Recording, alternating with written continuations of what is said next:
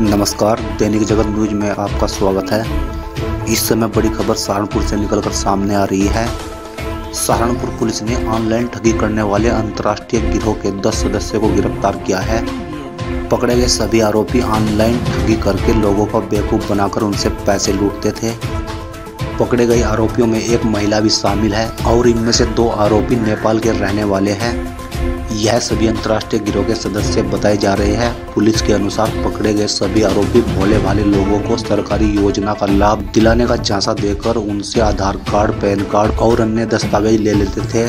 बाद में इन दस्तावेजों से फर्जी सिम लेते थे और इसके बाद उन सिम पर पेटीएम अकाउंट खोलकर उन्हें दिल्ली के एक इंटरनेशनल गिरोह को बेच दिया करते थे।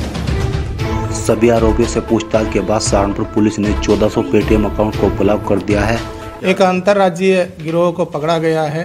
ये गिरोह जनता के, जनता से लोगों से, उनके आधार कार्ड और अन्य जो उनके कागजात है लेके अपना उन, उनको उस एवज में हज़ार रुपए देते थे और उस कागजात को यूज़ करके सिम कार्ड खरीदते हैं। और सिम कार्ड को एक्टिवेट करके ये लोग फिर आगे बढ़ाते हैं। उसके एवज में इनको करीब छः हज़ार रुपये का मिलता है एक सिम कार्ड के लिए। तो इस तरह का ये करके वो फर्जी नाम से जो सिम कार्ड तैयार कर लेते हैं। इसके ज़रिए ये अपना फ्रॉड की एक धंधा शुरू कर रखे हैं। इसमें तमाम जो जो टाइप का फ्रॉड कार्य करते हैं, जिसमें सट्टा है, इसमें ऑनलाइन बिडिंग है।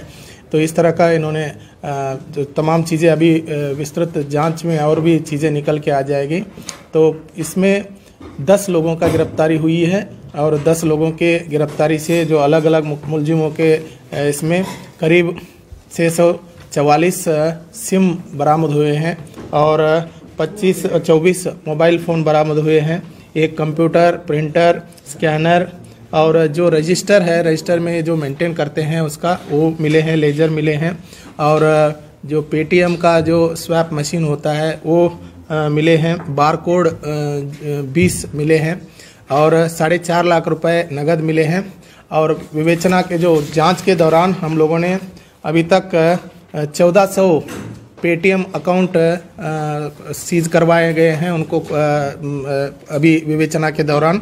और उसमें से 53 लाख रुपीस अभी सीज करवाया गया है। वो अभी जिस अकाउंट में थे, उस अकाउंट में हमने उसमें लिखा पढ़ी करके सीज करवाए गए हैं।